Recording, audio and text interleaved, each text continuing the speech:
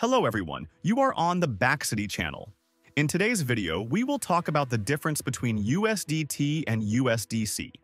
As you may know, the use of USDT in Europe was banned a few months ago, which led many stores, such as Baxity.com, to start offering alternative Binance vouchers.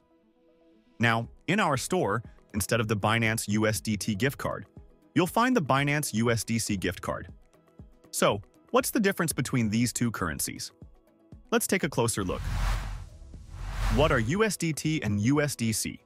USDT, Tether, and USDC, USD Coin are both stablecoins, which means their value is pegged to the US dollar. Each of these tokens is designed to maintain a 1.1 ratio with the dollar, making them less volatile compared to other cryptocurrencies like Bitcoin or Ethereum. So, what's the main difference between USDT and USDC?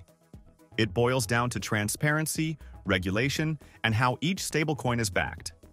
USDT is the market leader and widely accepted, but it has had issues with transparency. USDC is growing in popularity, especially among those who value transparency and regulatory compliance. In terms of usage, there is no difference between these two currencies.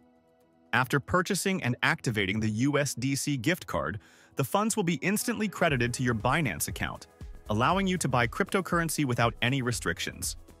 So you don't need to worry about not finding gift cards in USDT anymore. By purchasing USDC, you're essentially getting the same experience.